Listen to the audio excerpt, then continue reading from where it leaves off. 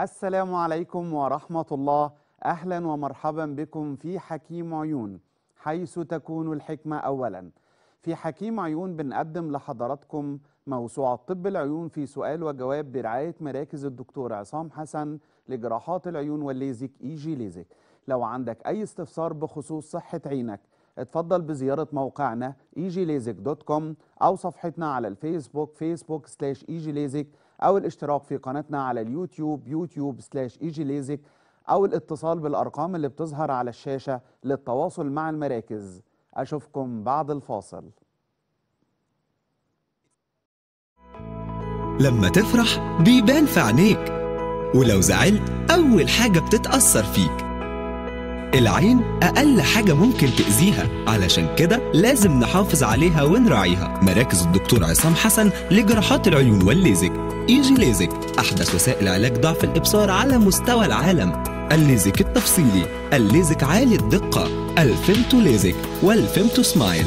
ال Supracor عمليات زرع العدسات وعلاج المياه البيضاء بالموجات الصوتية وال Femto laser. أحدث وأدق التقنيات لعلاج القرنية المخروطية وعلاج الجلوكوما وارتفاع ضغط العين حقن الشبكية والجسم الزجاجي وعلاج مضاعفات مرضى السكر.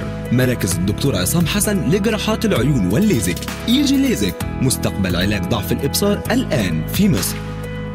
عرض خاص على عمليات تصحيح الإبصار الليزك لفترة محدودة.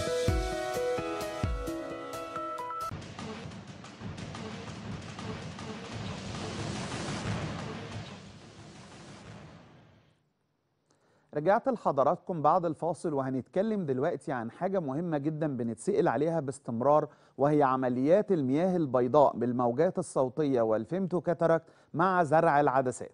أولا إيه هي المية البيضاء؟ لأن دي بتلخبط ناس كتير جدا.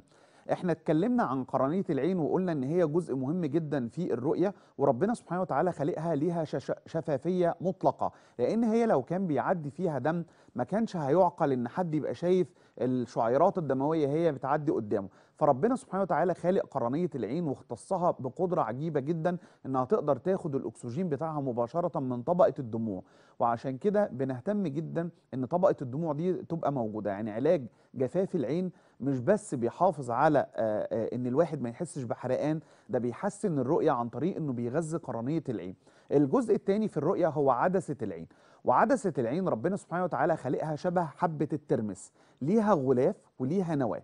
في بعض الأحيان بيحصل إن الشفافية بتاعت عدسة العين دي تبدأ تتأثر فتعمل عتامة في عدسة العين وده اللي بيطلق عليه الكاتاراكت أو المياه البيضاء. يعني المياه البيضاء مش زي ما الناس فاهمة دي حاجة بتبان في العين من بره. لا دي سحابة القرنية هي اللي ممكن تعمل نقطة بيضاء على العين من بره لكن حدقة العين داخلها العدسة لو بدأ يظهر وراها عتامة لونها رمادي أو أبيض هذا ما يطلق عليه المياه البيضاء. بعض الناس بتتلخبط معتبرة إن المياه البيضاء يعني شخص عينه بتدمع أو عنده مية كتير فيجي يقول ببساطته الشديدة يا دكتور أنا عيني فيها مية المية كتيرة خالص أنا خايف يكون عندي مية بيضاء. يبقى إحنا وضحنا إن المياه البيضاء هي إصابة عدسة العين التي في الأصل شفافة بعتامة تسمى الكاتاراكت أو المياه البيضاء. طب إيه أعراضها؟ بيجي الشخص يبدأ يشعر بضعف تدريجي في الرؤية. المية البيضاء من ستر الله إن هي ما بتجيش بفقد رؤية مباشر مرة واحدة بتحصل تدريجيا. فالشخص اللي عنده قوة ملاحظة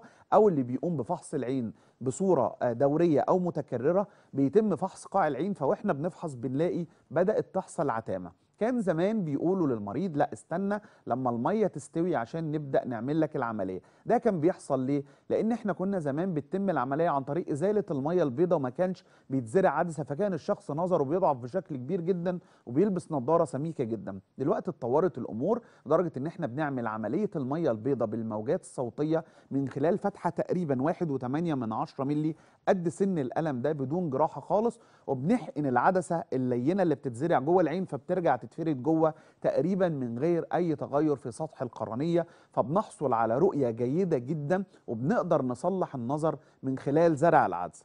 زرع العدسة بيفيدنا في حالتين في حالات المياه البيضاء لأن إحنا بنشيل عدسة العين الطبيعية ونزرع مكانها عدسة تانية تساوي في القوة إن الشخص يشوف من غير الاستعانة بأي نظارة فكأن عملنا له عملية تصحيح إبصار. الناس كمان اللي عندهم قصر نظر شديد جدا وما بينفع لهمش عملية الليزك نقدر نعمل لهم زرع العدسات وزرع العدسات بيتوقف على سن المريض. يعني لو جالنا المريض بدري في العشرينات بنزرع له عدسة فوق عدسة العين لكن لو جه بعد سن ال 35 بنشيل عدسة العين ونزرع له عدسة مكانها في عملية مشابهة لعملية المية البيضاء. في غالبية الناس العملية بتجرى ببنج سطحي أو بنج موضعي من غير أي تخدير كلي تقريبا ما بنحتاجهوش. زي ما قلنا بتتعمل بالموجات الصوتية أو ال Femto cataract اللي هو ال Femto laser بدون أي تدخل جراحي بنزرع عدسة ترجع الرؤية كويسة جدا. معظم الناس بعد 24 ساعة تقريبا بتكون رجعت لهم الرؤية بشكل جيد جدا ويقدروا بعد يوم أو يومين راحة في البيت يرجعوا لحياتهم الطبيعية. في الغالب عملية المية البيضاء بتجرى آه، كل عين على حدة. يعني بنعمل العين الأولانية لو كانت مصابة ولو التانية فيها بنستنى بعد مثلا عدة أيام لما نطمن على العين الأولانية ونزرع العدسة في العين التانية ويرجع الشخص لطبيعته خالص. بعض الأسئلة هل يا دكتور أنا لو عندي سكر ينفع أعمل عملية المية البيضاء أو زرع العدسة؟ أيوه لأن الناس اللي عندهم سكر بيبقوا أصلا أكثر عرضة لحدوث المياه البيضاء بدري شوية لكن في بعض الأحيان بنطمن على شبكية العين. لو في مشكلة خاصة بارتشاح الشبكية أو نزيف الشبكية نقدر كمان أثناء عملية الميه البيضاء بعد زرع العدسة إن إحنا نحقن الشبكية بمادة اسمها الانتي فيجيف ودي بتؤدي إلى إن يحصل توقف للنزيف والارتشاح فكأن إحنا عالجنا مشاكل السكر وحسنا النظر وعالجنا المية البيضاء أشوفكم بعد الفاصل.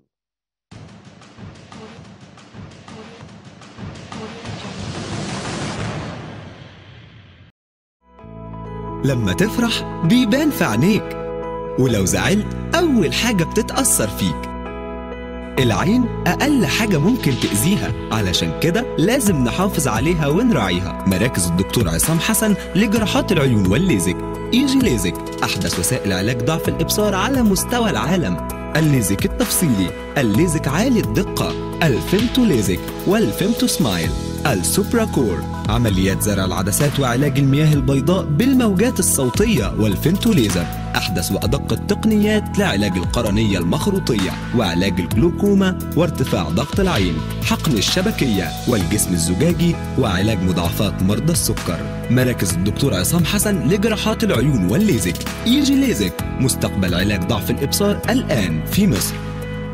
عرض خاص على عملية تصحيح الإبصار الليزك لفترة محدودة.